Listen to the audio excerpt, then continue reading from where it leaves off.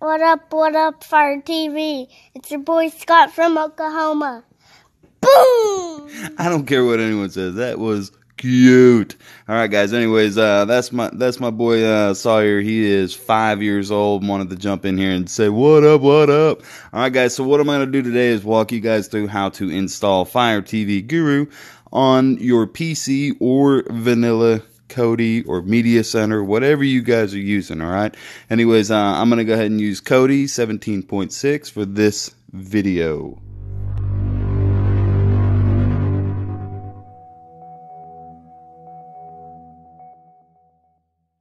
We are, here we are, guys. Hope you guys enjoyed that. That is what you guys are seeing on the splash screen. I, am seeing uh, a lot of you guys are getting some issues going on with um, um, it not appearing on like specifically the Fire TV devices. Anyways, guys, so let's move on. Let's let's go to it. Hope you guys enjoyed that little bit. I thought it was kind of cool. All right, so guys, what we're gonna do, right? We're gonna go ahead and click on that little cogwheel up there for your settings. We're gonna click that up there on the top, right below Kodi. We're gonna click it. We're going to go to settings. We're going to go to system settings, right? Over here on the right. Now we're going to go over here to the left. You see where it says add-ons? We're going to click it. Click add-ons. All right. Now you see over here where it says unknown sources. We're going to go ahead and click the unknown sources. And then yes, we want to go ahead and allow third-party access to your device. Yes. Without doing that, guys, you guys will not be able to install any programs at all um, that are not Kodi related. All right, cool. So now, guys, what we want to do is we want to hit that back button one time.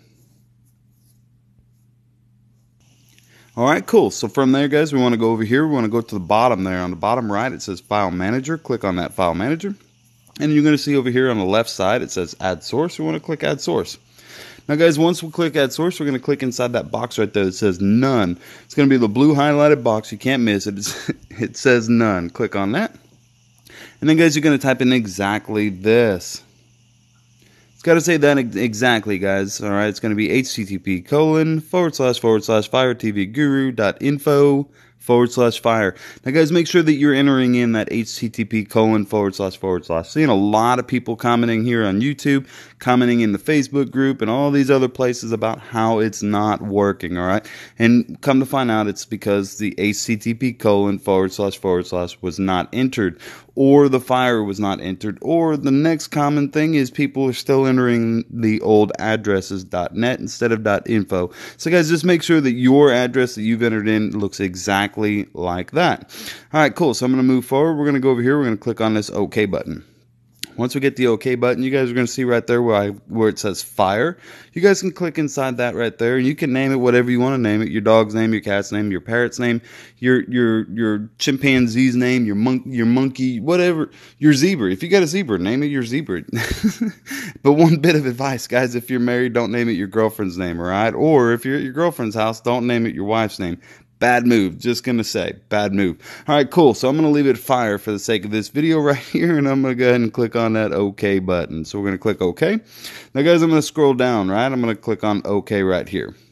Now we've got that bit of information in there, right? In the, in the root file manager information. So guys, now what we want to do is want to hit that back button. We're going to hit it two times, and it's going to bring us right back here. Should all be right back at the screen right here, guys. Cool. So what we're going to do now is we're going to go over here on the bottom left over here. You see where it says add-ons? We're going to click on that add-ons icon. All right. Now you see the icon up top there. It says it's got the. It looks like a little drop box, right? We're going to click on that little drop box.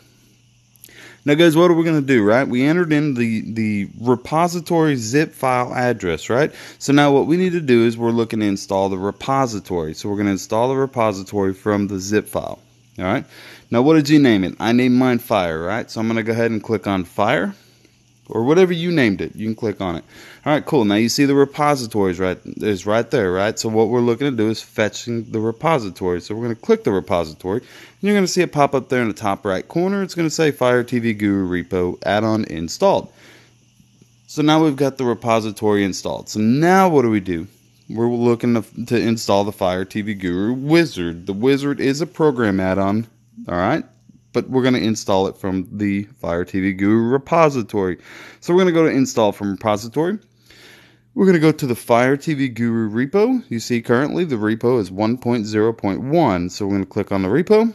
And then we're going to go down here. It is a program add-on. So we're going to click on program add-ons. And then you see the Fire TV Guru wizard right there, right? So we're going to click the wizard. And it's going to get this pop up right here. We're going to click on install. Check it out. Let's see what happens. Boom! Fire TV Guru Wizard has been installed. You're going to get this little pop up right here, guys. Now, I will tell you, you know, usually there's a lot of good information in here. Right now, I've got, I, we sent out a notification to everybody that's currently using the build so that way they get the new repository.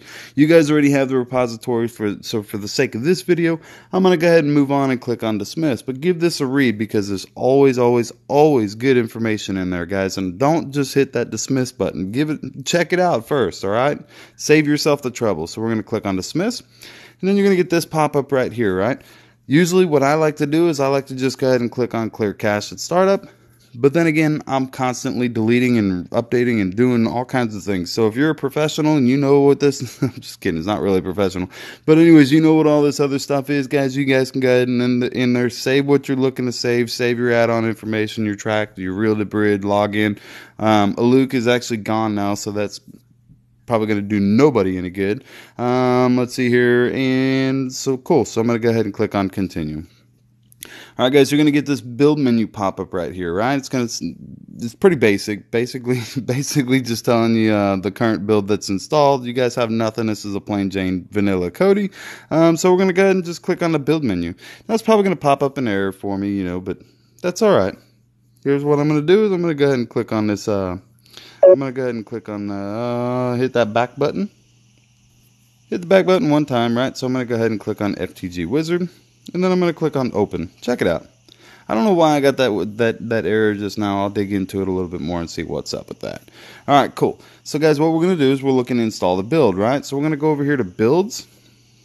All right, we're going to go over here to Fire TV Guru or Fire TV Build Krypton. Right now I'm on Krypton, guys. If you guys are on Jarvis, you're going to see the Jarvis builds in there. If you're on 18, you're going to see the 18 builds in there.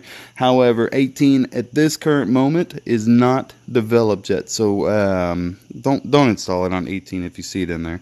All right, cool. So for the sake of the video, we're using Krypton. I'm going to go in here. Which one do I want to use? Guys, the first two right there, the Fire TV Build Krypton, the Fire TV Build Krypton backup, right? The backup's just in there. It's it's actually a backup, three extra backup servers just in case the, the uh, first three go down. Cool. So we're going to go ahead and click on that first one right there, right?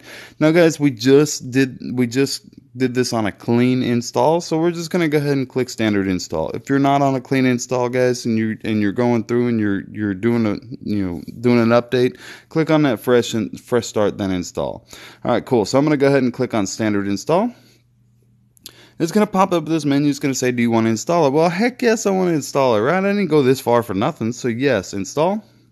And then we're going to pick a server. What server do we want to install it from? So I'm going to click on server number one.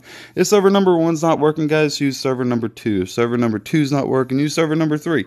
If server number three is not working, use the backup servers. That's what they're there for. All right, cool. We're going to go ahead and let this thing install. Let's see what happens. All right, so it just downloaded. Now it's going to actually install to the device. So just let it run through and do its thing. Once it gets done installing, guys, it's going to pop this up and it's going to tell you you need to force close it, right? So, guys, what we're going to do, we're going to click on OK and let's force close it.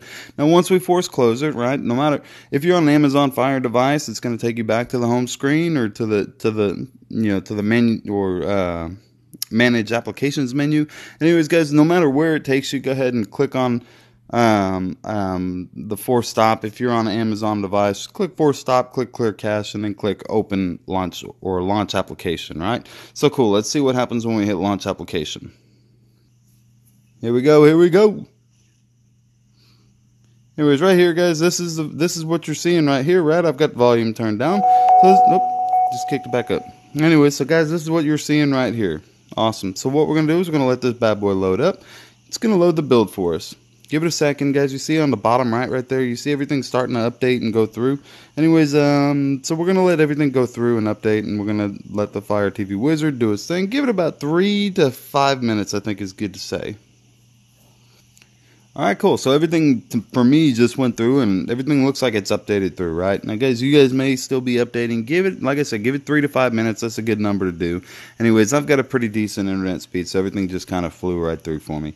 All right, cool. So, guys, now we got the build installed, right? You're happy-go-lucky, and everything looks good, right? So we're going to scroll over here, guys. A couple things that I always like to tell everybody to do after doing an install, right?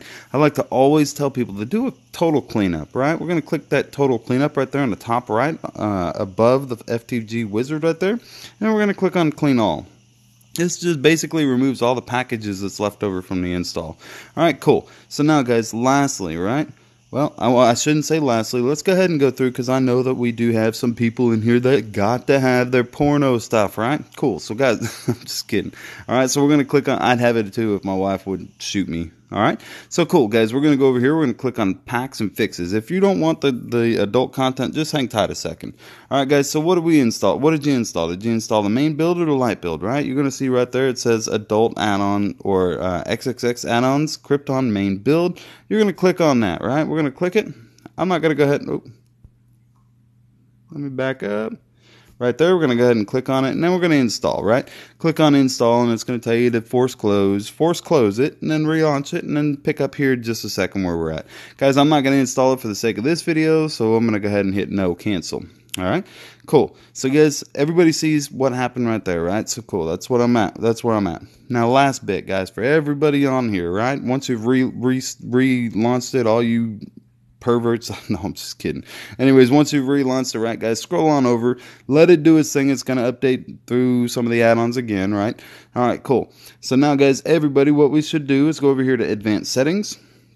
All right, now this right here is basically going to tell you the video cache or size. It's going to read the buffer mode. All of this stuff is based on how much space is on your device, what device you're in, and all that. No two are really going to be the same, guys. So this right here will automatically configure it. If you guys are smart enough and you know the algorithm to the whole to the whole planet of Kodi World, you guys can go in here and set your own buffers and all that stuff, right? All right, cool. And you see the buffer mode, I've got it only buffer true internet file systems. Now, if you guys don't want any buffer, you can click on no buffer buffer all fire systems, or you guys can go ahead and buffer all internet files. Whatever you guys want to do, but what I like to do is just go over here and just click on this bottom left right here, click write file, and it automatically writes and knows exactly the device that I'm using, right? So you guys should be able to scroll through it and pretty easy and, and you know see everything's loading up pretty quick, right?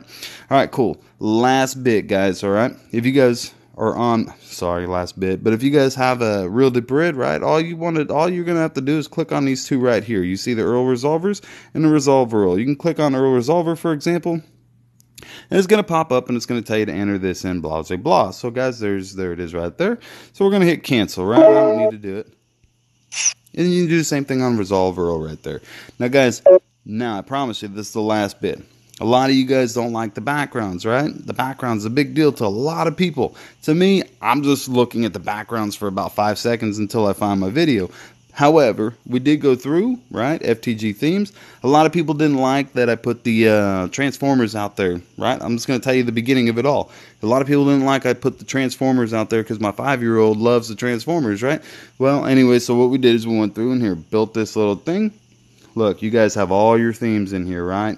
And we constantly will be adding more and more and more. So guys, just give it a pick through and see which ones you guys want to go through. I'm just going to, for example, use my vets one, right? So I'm going to click on my vets.